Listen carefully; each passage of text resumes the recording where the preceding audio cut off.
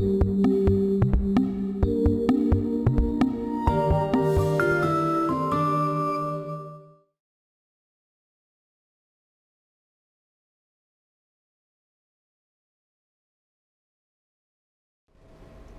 there, I'm uh, Tim Crennan from CATI, Computer Aided Technologies, and today we are going to be scanning an engine block. Um, we have a Creaform MetraSCAN with us. We just brought it into the uh, workshop, so it's just all packed up still. We haven't done anything. Um, and then, so we're just going to run through a quick, take it out, set it up, start scanning, and show how easy the whole process is. Um, should be pretty quick. So first thing we're going to do is get our MetraSCAN set up. This is the uh, big Creaform 3D scanner. Um, it uses a uh, secondary C-track thing, which is this big guy in here, to actually see what you're going to be scanning. So we'll just that. Set that up over here.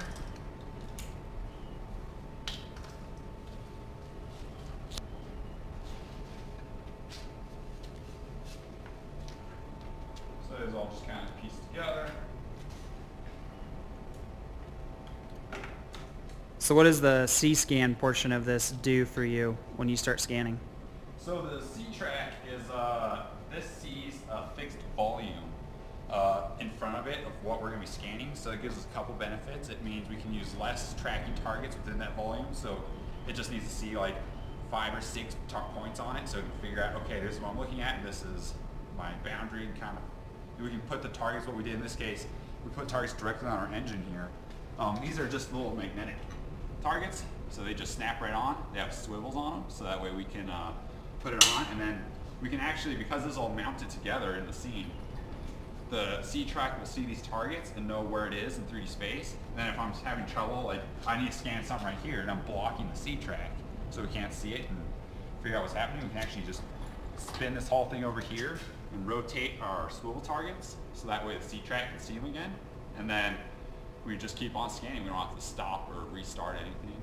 Um, so that's that's pretty much what the C-track does. And because it sees a fixed volume, um, it also gives us really high volumetric accuracy. So that way we don't have to we don't have to like this tolerance stack of like per meter of distance we're scanning. Everything that's in here it knows the size of. So that way we have really high accurate data from it. It's more flexibility, more accuracy. Yep. So this is just the uh, power cord for hooking up our controller. So because we have a couple different uh, items going on here, we have the controller that the C-Track talks to, and we also are going to have the MetraSCAN scanner part that actually talks to the controller too, and then it compiles all the data and sends that to our computer. So this is the cable for plugging in our C-Track. So you see pretty long cables, uh, nothing rigid or fixed about this situation. We can drag things around, move them wherever we need to. Just plug these in the back. So it allows you to be a little more freeform. So like today we're just in my shop, which isn't a normal big manufacturing facility, but we can still accomplish what we're looking for. Exactly. Grab what we might need out of here. This guy.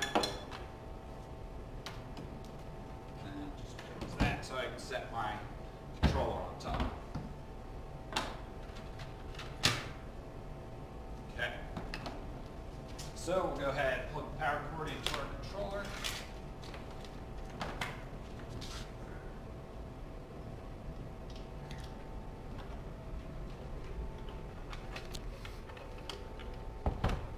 And then we'll plug the C-track into the back of that. Again, it's just a couple USB plugs and the main quick release. So it's a very easy setup for all this. Plug our USBs in, no particular order, just gotta put them into the back. Okay, and then let's get the MetraSCAN scanner itself out. It's a pretty interesting looking part. So this guy. So how this works is actually, it gets the data by projecting out some red laser lines out of these points right there, and it has uh, seven sets of uh, crosses that it s- projects out and it sees how those deform over the surface to figure out what the shape is. Um, and then all this stuff around it, all this craziness, this is what the C-Track is actually looking at. So it can tell where this is in 3D space because of these calibrated target cage all around it. That looks like what they use, what you see in the movies when they talk about doing the special effects stuff, right? Yeah, yeah. So when they, uh, it, it's, it's along the same line. So it's basically tracking targets. So when they're doing special effects and they have someone covered in dots on a green screen jumping around, it's so they can follow all those points on them very specifically in the air. Uh, we'll just set this down. Plug this also into the back of our controller.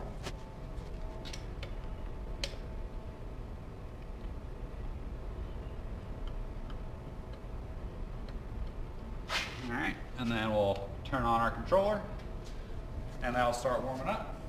Uh, the C-Track does need to warm up a little bit because it's so large, and it can actually have thermal expansion will affect it a little bit. So it's gonna take five minutes or something to warm up.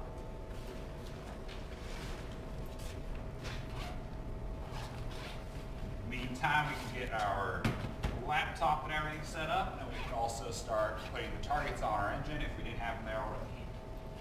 Which again, we're just magnetic stickers, so nothing uh, over the top on that. They also have regular stickers for it, um, which would be this spool of tracking targets, and it's literally just stickers that come right out the top. And you just stick them on your part, and that's what C-Track's looking for. Okay.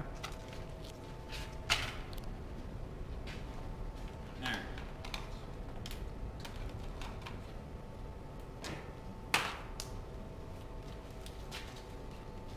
This guy off the ground. Laptop.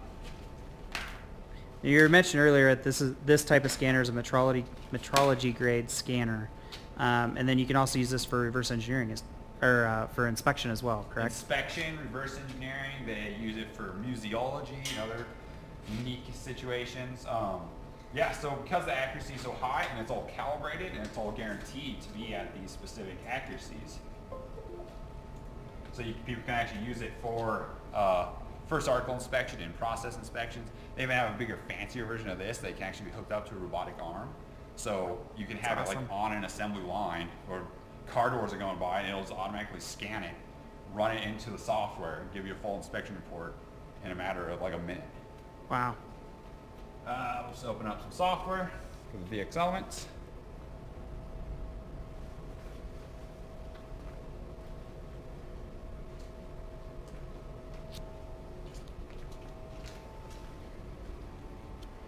And then our last cable here just be for setting up the connection to the controller between our computer.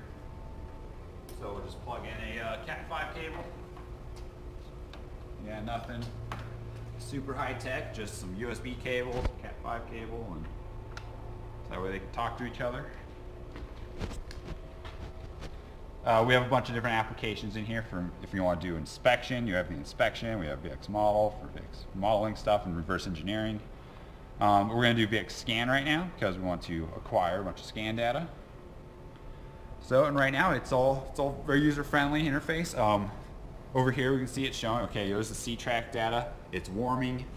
We just need to wait for it to uh, warm up for a couple minutes, and then we can jump in and start scanning. It's going to see the targets on our engine block. We tell it to identify those and use those as our tracking info, and then we can go and scan it. Um, if you take a look at our engine block, you notice a bunch of bolts sticking out of it willy-nilly. So these are kind of mirror imaged uh, versions where we can just flip around use it on the other side. So with the scanner, because it's optical, we're actually scanning, we're trying to scan holes we want to get these, the bolt pattern data, right?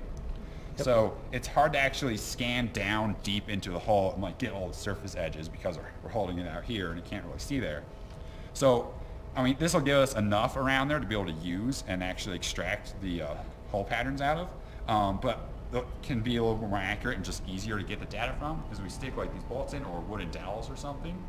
And you can actually scan it. Now when we're scanning these parts, we actually can get uh, the outside data there that fits directly into that hole. And easily extract like a cylinder or circle data from those um, a lot you know, quicker without having to worry about, oh, I didn't get too far down into it. And that will be especially useful for some of these holes here actually aren't in line with this face, so it'll have its own axis that's going on, so this will make referencing that direction it's going down uh, a lot easier. Um, yeah, I mean, so that's the setup. I mean, these are just, again, magnetics. Uh, tags we put on it. We had a couple stickers that we're using a little here and there, and, and that's it. I mean, just need to, just need to wait. That's pretty fast.